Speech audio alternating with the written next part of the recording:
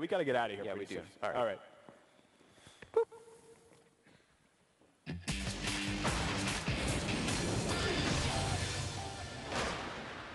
We're back, making money. Lightning round. The theme of today's lightning round, making money. The secondary theme of today's lightning round, mobile applications. Not just mobile applications. I know, I know you're, you're saying, Cramer, I've got a mobile application. Big whoop. That puts you on the same level of sophistication as my pet badger. My pet badger has a mobile app. It's a freaking jungle out there of mobile applications. It's not enough to just have one.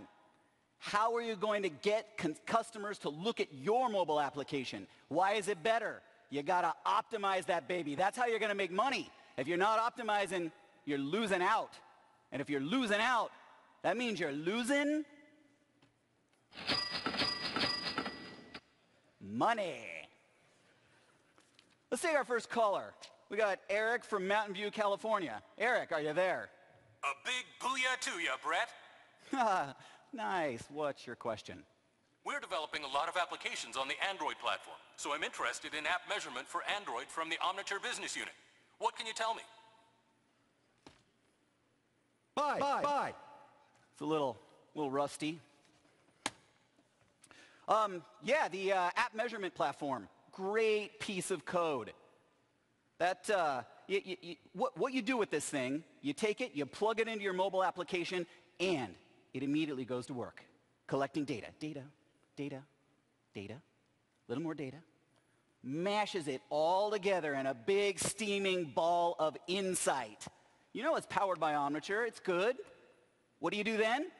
Go in, log into your reports, and you can understand all kinds of things about your mobile application. Not just how many times is it being downloaded, but things like how much time are people spending on my application?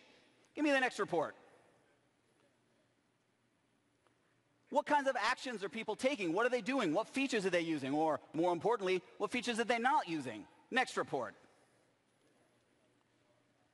What, how many ads are they viewing? I've got a free app, but I still need to make some money. How many ads are folks viewing? Next report.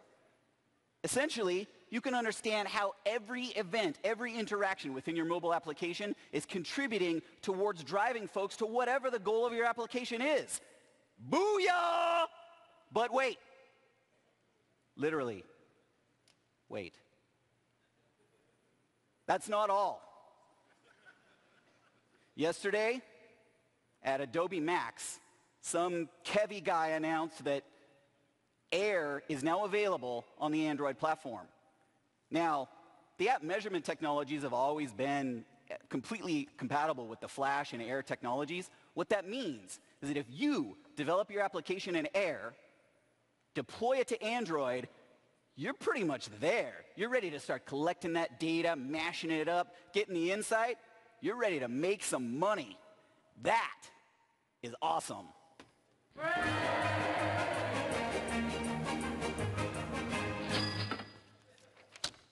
Next caller, we have Caspian from Narnia. Caspian, what's your code? Hey, Brett, I'm looking at a slick piece of code from Adobe's Omniture business unit called App Measurement for iOS. What can you tell me about it? What can I tell you about it? Maybe just a little bit.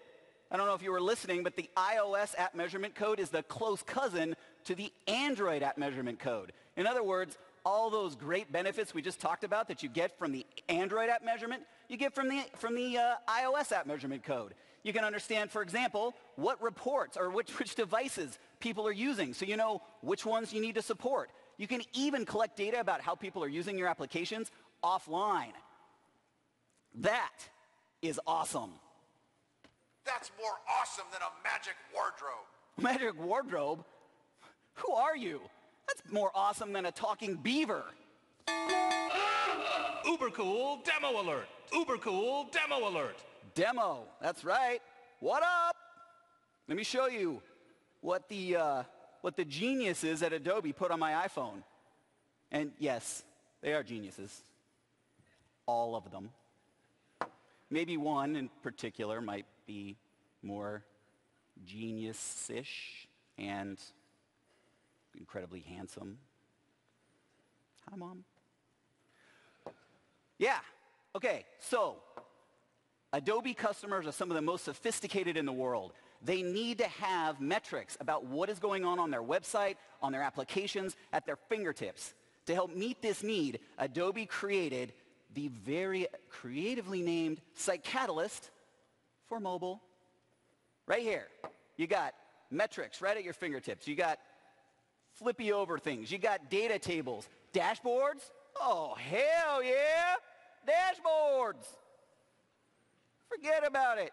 Now, that's all great, but the really brilliant thing that Adobe's doing is using their own app measurement technology inside of this mobile application to understand how their customers are using this application. So, for example, okay, this is a little bit mind-blowing. I'm going to show you on this iPhone how people are using the app on this iPhone. Recursion. Question number one. Are people using the, the app in landscape or portrait mode?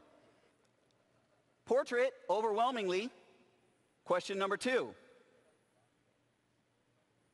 Question number two. Why does my iPhone not work properly?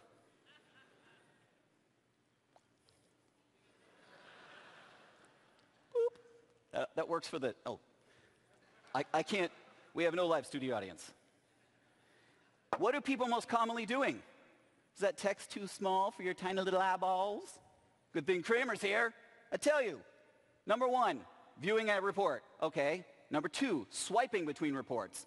Number three, refreshing the reports. Now that's kind of a surprising. 22% of all the actions that people perform is refreshing a report. So, what did Adobe do with this information? Well, first of all, since no one's viewing the reports in landscape mode and it's difficult to support, they said they cut that out altogether, focusing on things that are more important to the customers. Refreshing used to be buried in a menu. Now just a simple double tap on a report will refresh. That, my friends, is mobile app optimization. End of Uber Cool Demo Alert. All right, let's go to our next caller.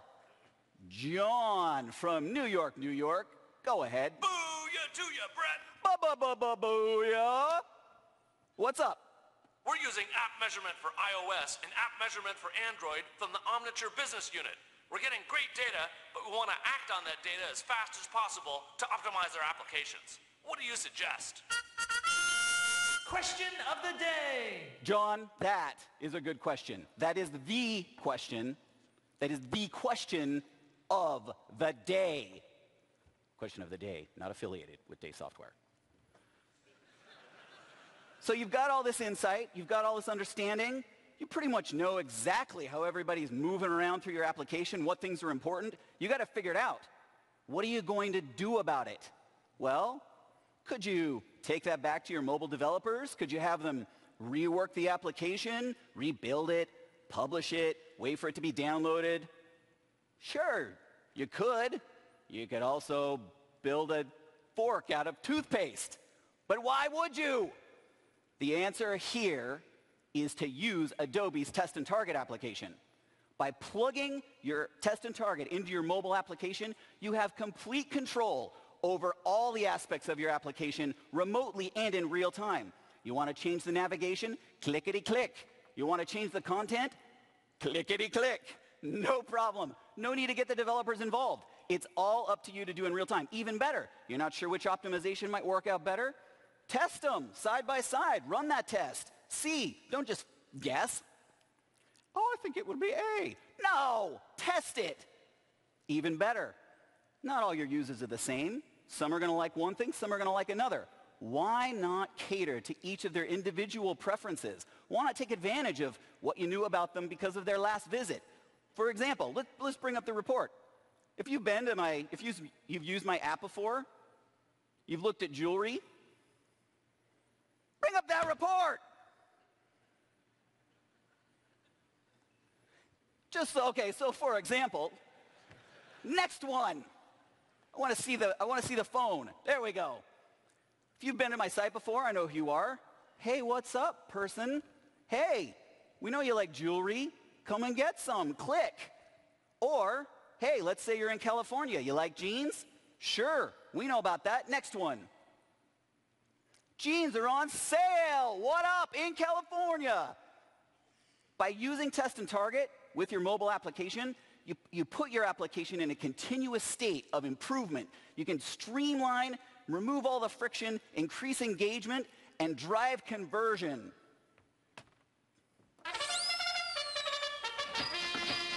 That gives your app the edge it needs. Thank you, John. Next caller, Nunya Business from London, England. Right, and Nunya, go ahead. Booyah, Brett. We do loads of mobile marketing, and it seems to be working just fine. I'm wondering, why do we need to bother with measurement and optimization? No! Sell, sell, sell. Nunya, I can tell just by listening to the sound of your voice that you are no doubt a very attractive woman. But clearly, you're not the crispest chip in the bag. Every single action your customers are taking on your application, every tap, every swish, every click, everything is telling you something. If you're not listening optimizing the results to better meet their needs, I guarantee you, your competitors are.